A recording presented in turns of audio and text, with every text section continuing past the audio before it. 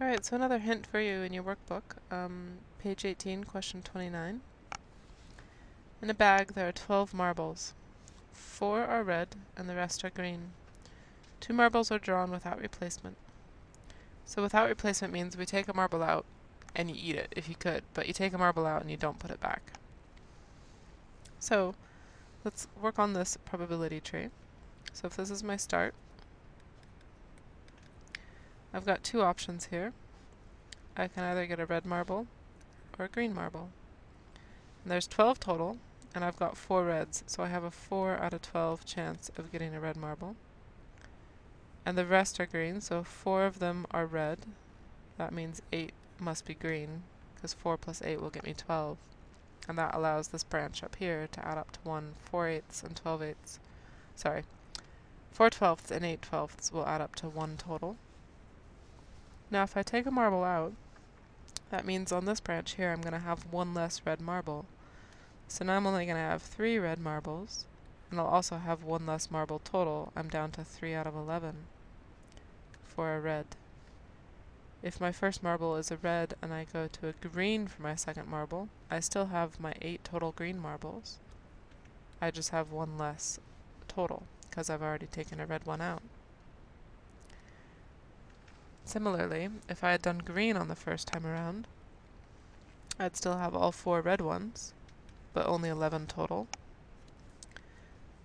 And if I'd already taken a green one out, I'd be down to 7 of the green ones out of 11.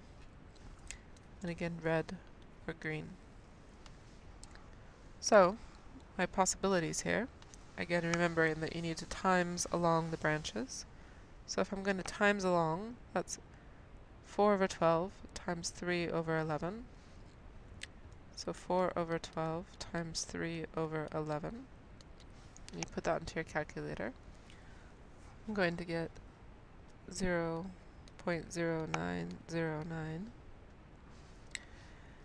And again, timesing along for the other option here. If I did red and then green, 4 over 12 times 8 over 11. That's going to get me 0.2424. For my third option here, green and then red, that's 8 over 12 times 4 over 11. That will also get me 0.2424. And lastly, two green marbles, so that's 8 over 12 times 7 over 11. That's going to get me 0.4242.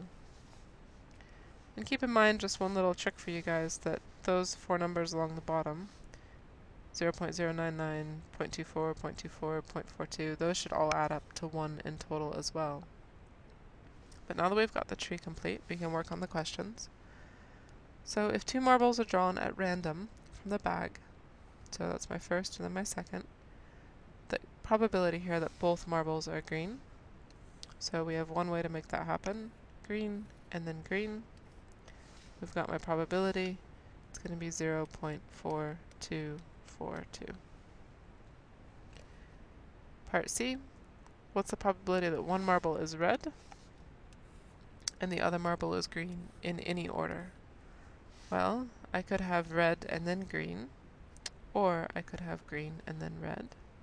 So it's both of those options, which means I need to add them together, 0.2424 plus 0.2424 it's going to be equal to 0 0.4848. And for part D, given the first marble is red, the second marble is red also.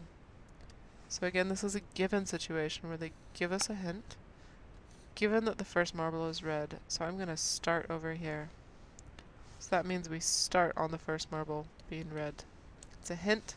We're going to start here for part D. So we know that the first marble is red.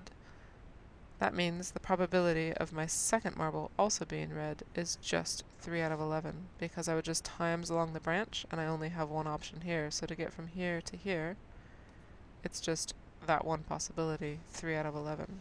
If I had more branches after that, I would times along those as well. But my probability here is just 3 out of 11 which is also equal to 0.273.